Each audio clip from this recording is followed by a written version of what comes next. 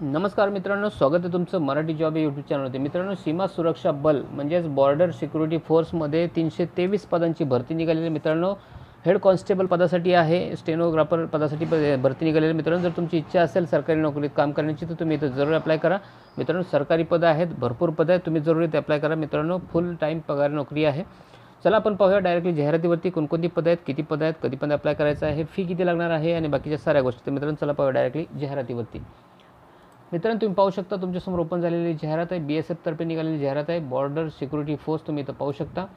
पदं कोणकोणती आहे तर तुम्ही इथं पाहू शकता. पद आहे सब इन्स्पेक्टर स्टेनो आणि हेड कॉन्स्टेबल मिनिस्ट्रियल या दोन पदासाठी निघालेली भरती आहे.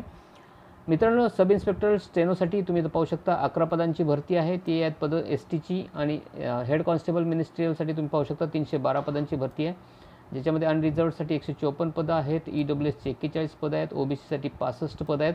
एस टीसाठी अडतीस आणि एस टीसाठी चौदा पदं. अशी एकूण तीनशे बारा पदांची भरती जी आहे ती हेड कॉन्स्टेबल या पदासाठी आहे. अशा पद्धतीने मित्रांनो निघालेली भरती आहे. जर तुमची बी एस एफमध्ये काम करण्याची इच्छा असेल तर तुम्ही तर जरूर अप्लाय करा. मित्रांनो यासाठी मिळणारं वेतन किती असणार आहे तुम्ही तर पाहू शकता.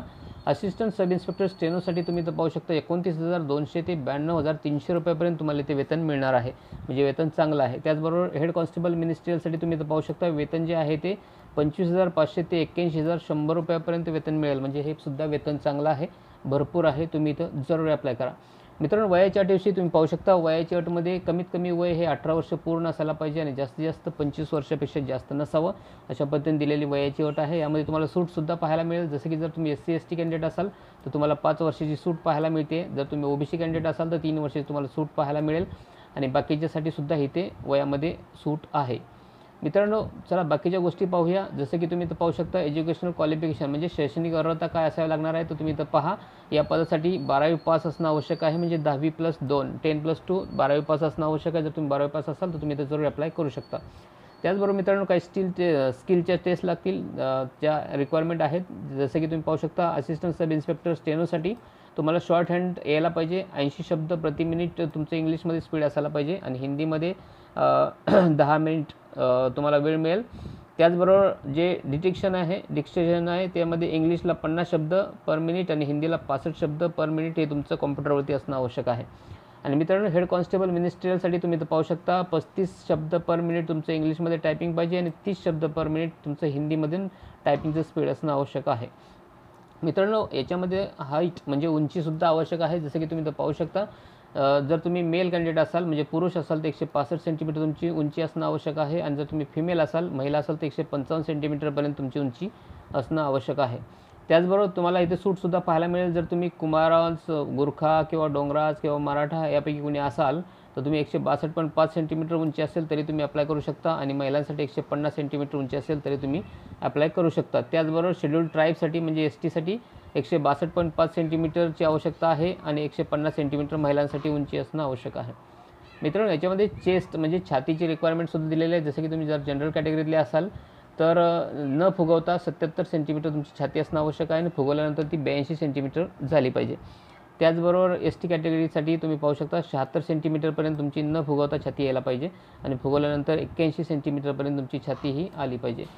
वजनाचं तुमच्या मेडिकल स्टँडर्डनुसार आवश्यकता लागेल तर ते तुम्ही चेक करून घ्या. त्याचबरोबर बाकीच्या गोष्टीसुद्धा इथं दिलेल्या आहेत की जसं की टॅटू चालतो नाही चालतो याच्याविषयी तुम्ही इथं पाहून घ्या. मित्रांनो तुमची निवड कशी होणार आहे तर तुम्ही इथं पाहू शकता. दोन फेजमध्ये होईल. पहिल्या फेजमध्ये तुमची रिटर्न एक्झाम होईल म्हणजे लेखी परीक्षा.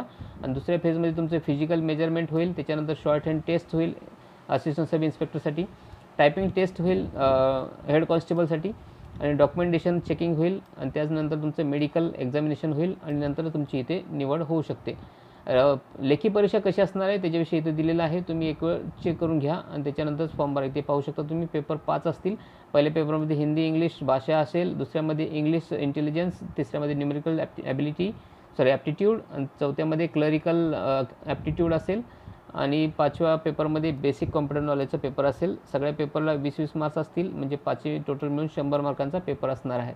तर अशा पद्धतीने मित्रांनो ही परीक्षा होणार आहे. तुम्ही इथं तयारी करा आणि त्याच्यानंतरच तुम्ही परीक्षेला येऊ शकता. बाकीच्या गोष्टी इथं तुम्ही पाहू शकता. सगळ्या गोष्टी डिटेल्समध्ये दिलेल्या आहेत. कशा कशा लागणार आहेत ते तुम्ही इथं पहा. तुम्हाला अप्लाय कसं करायचं आहे ते तुम्ही इथं पाहू शकता. टोटली अप्लाय जे आहे ते ऑनलाईन पद्धतीनं करायचं आहे. ऑनलाईन पद्धतीने अप्लाय करण्यासाठी ते वेबसाईट दिलेली आहे. S T G P P S रिक्ट dot B S F dot G O dot in याची लिंक मी खाली देईल. त्याच्यावरती जाऊन तुम्ही डायरेक्टली अप्लाय करू शकता. त्याचबरोबर फीज किती लागणार आहे तर तुम्ही तर पाहू शकता. Candidate applying for the post A S I मतलब असिस्टंट सब इन्स्पेक्टर स्टेनो आणि हेड कॉन्स्टेबल मिनिस्टरसाठी तुम्हाला फक्त शंभर रुपये फी इथं लागणार तुम्ही पाहू शकता. शंभर रुपये फी तुम्ही इथं भरू शकता आणि ते कशी भरायची तुम्ही तर पहा. नेट बँकिंगनं भरू शकता किंवा क्रेडिट कार्ड डेबिट कार्डने भरू शकता किंवा यू पी आयनं भरू शकता किंवा वॅलेटनं तुम्ही ते फी भरू शकता.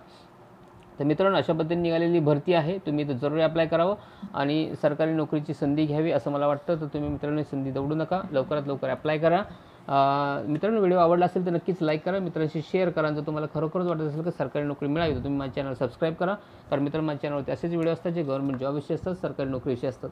तर मित्र माझ्या चॅनल सबस्क्राईब करण्यासाठी व्हिडिओच्या खाली तुम्हाला लाल कलरचं बटन मिळेल सबस्क्राईब लिहिलेलं ते दाबून सबस्क्राईब करा. त्याचबरोबर एक बेल आयकॉन येईल. घंटा येईल त्याला दाबून तुम्ही ऑलवरती सेट करा जेणेकरून जसा मी नवीन व्हिडिओ बनवेल त्याचे नोटिफिकेशन सगळ्यात पहिले तुम्हाला भेटून जाईल. तर मित्रांनो भेटूया नवीन व्हिडिओमध्ये नवीन नोकरीसह तोपर्यंत धन्यवाद.